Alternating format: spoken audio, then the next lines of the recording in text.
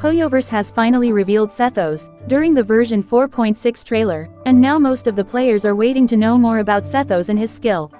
So after some research, we have got some details about Sethos. According to the latest info, and the details we got confirms that Sethos is a 4-star character. And during the version 4.6 trailer, we have got to see that Sethos is interacting and confronting Cyno, in a rite of duels. This is because of their link to the Temple of Silence, and the ancient god Hermanubis, who in turn is connected to Cyno's power. According to the latest info, Sethos is expected to possess an electrovision similar to Cyno, and there are multiple rumors saying that he could be a sword user. And some details are saying that, maybe we could see Sethos and Cyno's relationship, and link to the ancient god Hermanubis, during Cyno's story quest part 2.